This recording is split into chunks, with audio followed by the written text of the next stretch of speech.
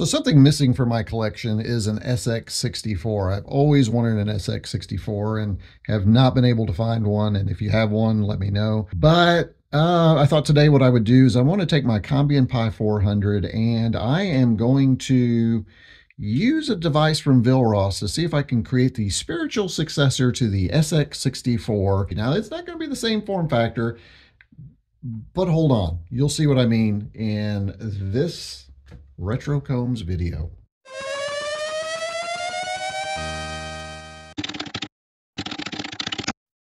Quite a while back, I took one of these and turned it into one of these, the Combian Pi 400. And just as a reminder, remember the Combian Pi 400 uses Combian 64. We plug that in, we turn that on, and it boots right into C64 mode. And as part of the project, I made a nice little label right here. You can see that, the Combian Pi 400 label. I put on these great key covers that give us all the PETSCII characters we need. And I even created my own little serial number plate on the back. And all that information is available in the companion blog post for that YouTube video.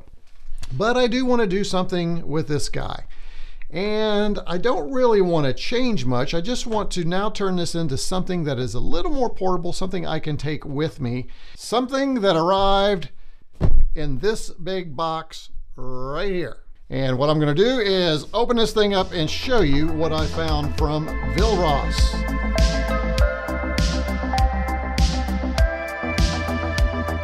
This is the PiDock 400 by Vilros. What is the PiDock 400? Well, you may have seen it online, but in a nutshell, what it does is you take a Raspberry Pi 400, drop it into this cool little laptop shell, and it becomes a portable Raspberry Pi 400. All right, let's open this box up and see what we get.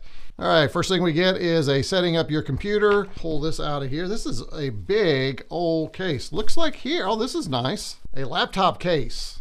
Even has a shoulder strap. This looks like an HDMI cable right here. This is a USB-C, probably power cable.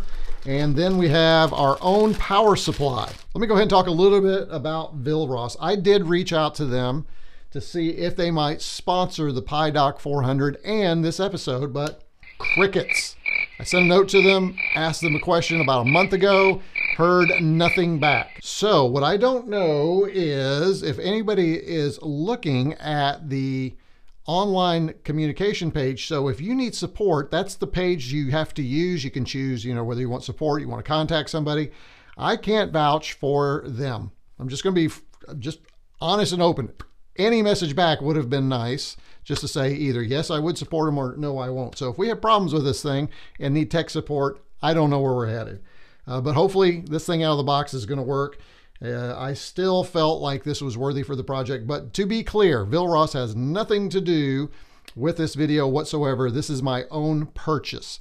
This is, we get what we get, and I'm going to say what I'm going to say. So here we go. We're going to dig in. So here is our power supply. Looks very similar to one I already have uh, and one that I have been using, except for this plug right here is not USB-C. This is a regular DC barrel jack. This is our USB-C to USB. We'll find out how we're going to do that. And then this is the important HDMI. Is that mini or micro? I, I don't remember. I think that's micro, right? I always get them confused. And this is basically a laptop. That's what we're getting right here. And you can see it is all white. Well, it is very light. Uh, obviously, the guts of the laptop are coming from the Raspberry Pi 400. You can see we have our barrel jack here. We do have a headphone port, which you don't find on a lot of newer computers. Uh, you can see the Vilros is on the back. We have some heat dissipation venting here. We open this up. It's hard to open, I will say that. And you can see inside we have an LCD panel. We'll see how well that works. And then we have this cavity right here where the Raspberry Pi 400 will drop in. There is a touchpad right here. Uh, looks like there is some plastic on there. We'll get rid of that. And then there is plastic on the LCD here. Really what it's time to do is it's time to assemble this thing and I don't know. I'm kind of dubious at this point and wondering if I really should have spent the money on this that I did. How much money? Um, it was about $250, folks. If the, if the screen looks good, I'll feel like we did okay, but whoa, it was kind of pricey for what I feel I have right now. But there's no battery. Uh, the first thing we do, connect the HDMI and USB-C power cable to video and power out ports. Okay, so that's here. And those ports are right under here. You can see those right there. So one of these gets plugged into here. And then the HDMI gets plugged into here. All right. Next step is to insert the Raspberry Pi 400 keyboard into the slot and put the screen down into the closed position. Important, make sure the SD card is installed in the Raspberry Pi before inserting the Pi 400.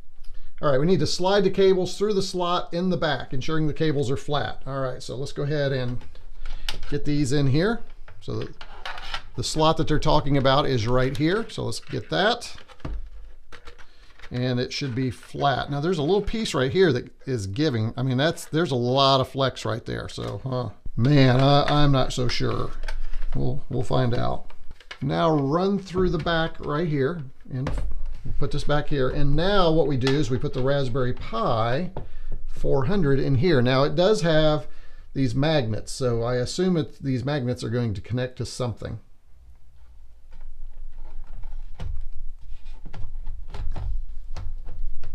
Uh, it is not setting stable there. Let me see what's going on here. Huh, interesting. Look at that. See how that's, it's just going back and forth. It says after that, close the case and then connect the USB-C. So then I've got to connect everything here like this. Okay, we know the power is going to go here. It's going to be kind of hard to see, but you can see right there. This is going to plug in right here. The HDMI is going to plug into the second one here. And then this is going to plug into any USB. Really? That's that's horrid. Let me see if they say what to do here. They don't say how to hide these cables, but that's that's that's just a mess. What in the world? But they're sticking out. See, this one is sticking out beyond the edge of this laptop case. So you can see I'm not going to be doing much hiding. Now I can push some of these down in here. Let's see.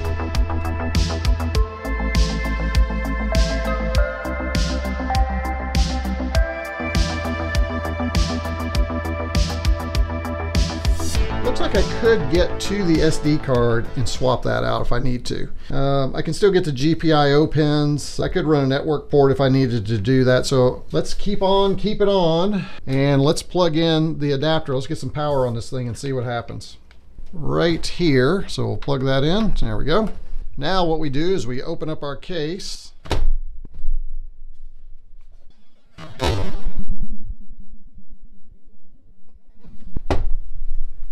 All right, let's turn it on. Now, Combian 64 is on here. We should be able to turn it on and see the C64 screen start up on this screen right here. Now, I haven't pulled this off yet, but we'll do that later. Let's go ahead and turn it on and see what happens, folks. Here we go. We have a light.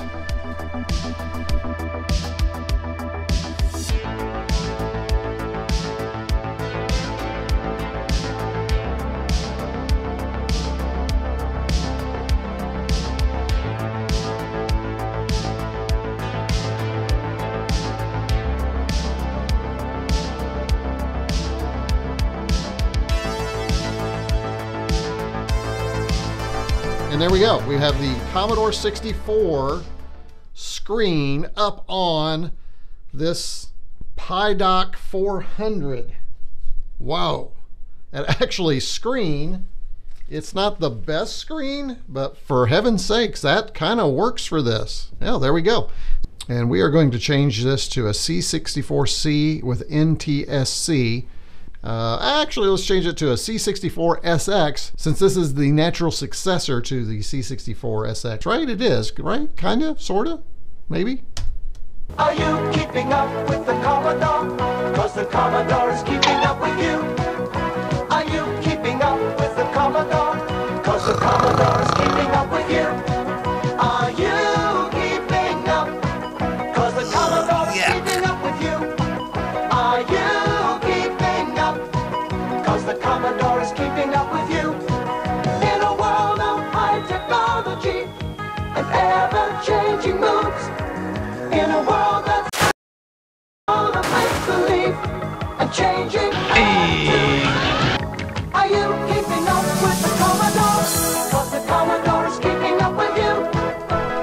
Okay, so we have set up the Raspberry Pi 400 with Combian 64 on the PiDock 400 running the Commodore SX64 basic version 2.0 and we're okay, but we need a joystick and we need to try and run some software.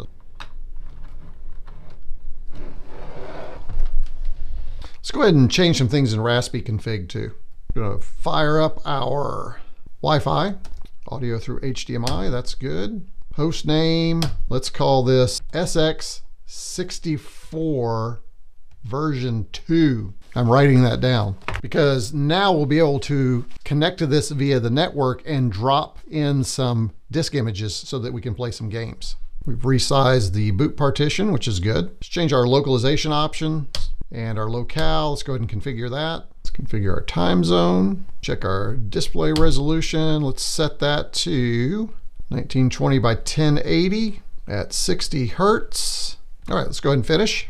And let's do a reboot. All right, there we go. And it did take care of the black ribbon around here. So it looks like everything is working much better now with those configuration settings. Oh yeah, that is much better. That looks, let's go ahead and quit the emulator and see what we have. That's good. Still, this is pretty small. Now I can change this setting here for the terminal, but it is actually expanding to the edges now. I might go ahead and change the size of the terminal text, which I do have a blog post on how to do that. Uh, so I'll need to review that myself because I don't remember. So let me go ahead and exit out of here for now. And there we go. What happens if I close my lid? Looks like the light is still on. See that? Um, I'm kind of torn. Do I want to continue on with this thing? Um, I mean, it is pretty, guys. This is this is pretty cheap. There are honestly, there are probably better ways to do what I'm trying to do here. But you know what? We're gonna run with it.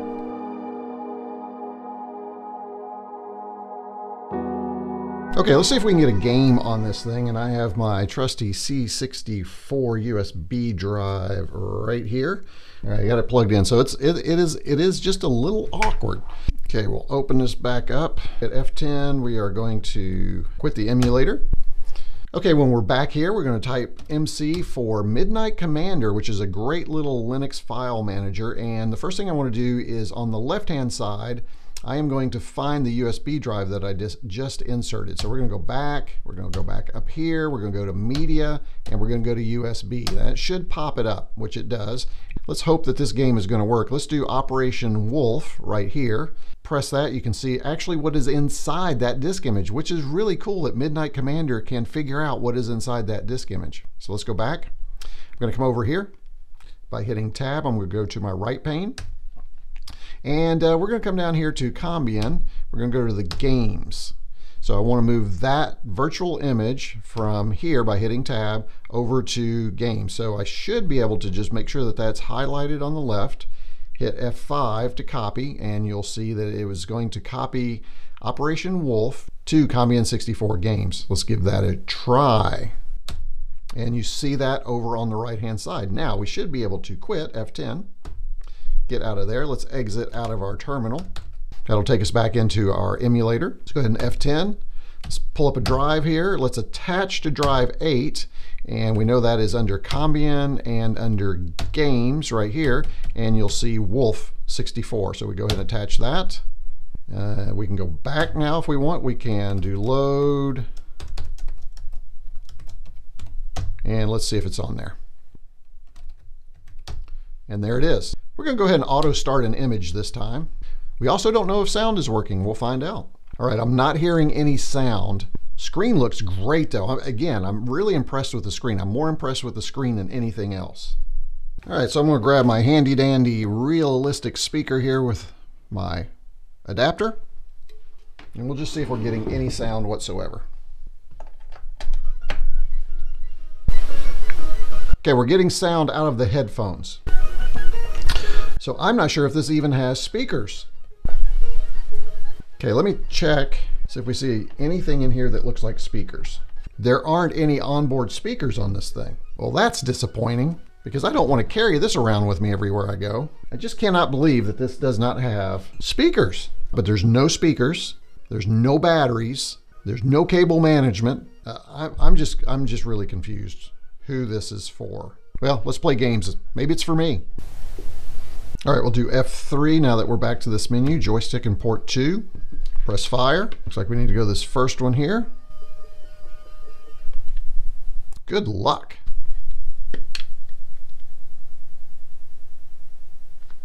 And it's working. Oh, look at that. Let's see if we can get some more volume here. So the sound is at 100%, so that's the best I'm going to get out of this realistic speaker. If you had headphones, it would be much better. So the USB joystick from the C64 is just working perfectly here. What a nice little setup this is.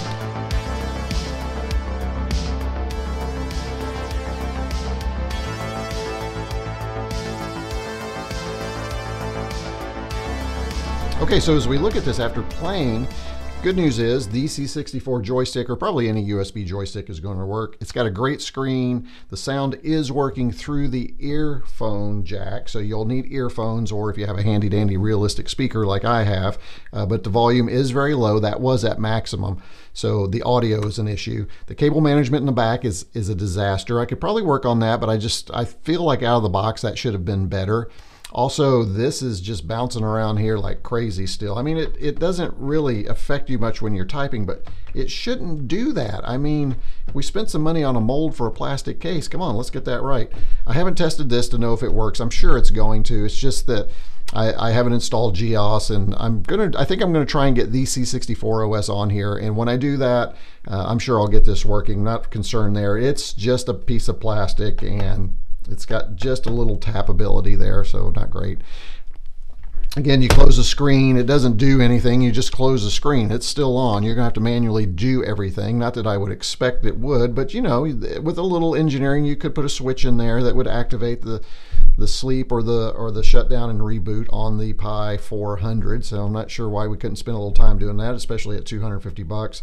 It is kind of cheesy looking. This isn't even flush right here. It does require the 12 volt adapter to power the screen and the Pi 400, which makes it not portable because there's not even a battery in this thing. So to call this the Pi Dock 400, to call this a laptop no way. Now, if you want to call it the spiritual successor to the SX64, sure, you still have to plug it in. It's still pretty heavy. You have to lug it around. So would I recommend this? I don't know. I mean, what, I wish I hadn't spent 240 bucks on it. Uh, maybe a version 2 will come out and Vilros will make this a better product. Right now, it's just kind of a feels like a toy that I've dropped this nice Pi 400 into and it's hollow sounding. It just, uh, don't know that I can recommend it. The, the, things I can recommend are the screen. I do love that. I love the interaction with the screen and the Pi 400. I mean, this is great. This looks great. If it just had all the stuff in here, I mean, there's nothing in it. Nothing. There's nothing inside this thing. For my case, though, if I'm looking for a nice case and screen for my Combian Pi 400 that I don't mind plugging in and keeping it plugged in and plug a external uh, speaker and have no battery and have to uh, just all if, if I don't mind all that, it's a purchase. It's not $240 worth. I'll tell you what, Vilros. if you decide to come out with a version 2, send that my way and I will take a fair look at it. Right now, I don't know that I can recommend this. Some of you may have some use case for this. Hey, maybe some of you, we can talk and we can figure out how to shove a battery in here, but should we really need to do that? And I'm sure there's some folks out here, and maybe even myself, I think we might be able to hack this and make this a little bit better somehow. But uh, for now, that's what it is. It's the Pi Dock 400, 240 bucks. Mmm, that's a hard one, folks. Oh, but hey, you do get a case. So hopefully, maybe this saves some time for you. How? Well, I don't want you to purchase it, get it in your house, and then send it back because you didn't like it. So now you know all the limitations. Yeah, this is just a disaster. Well, they got my money on that one. Seriously, Vilros, if you do come out with a version 2, contact me. Just just contact me. Period. Just hey, even reply to the first one, say, hey, we just got your message and see that you have one and thanks for the review. Am I going to send it back? I'm not. I'm going to keep it uh, because, again, I might hack on it a little bit more, or I could see it being used possibly, potentially for something else, another project. So hopefully this was of value to you. If it was, please go down there below and, you know, I could, I could use a couple of you to hit that thanks button to help reimburse me a little bit for this for bringing this and taking one for the team for you. Hit that little thanks button, or better yet, become a member at buymeacoffee.com slash retrocombs, and you can join at these fun Commodore-inspired levels all the way from the PET all the way up to the Mega 65. And you get all kinds of cool stuff, so make sure you take a look at that. So that's it for this video. And hey, be sure to check out this video right here. This is kind of a cool hack I've put together. And if you want more about that Combian 64, here's that video. That's a fun video. You're going to like that. And it's going to talk about all this right here. All right, that's it for now. Retro Combs out. Thanks for watching.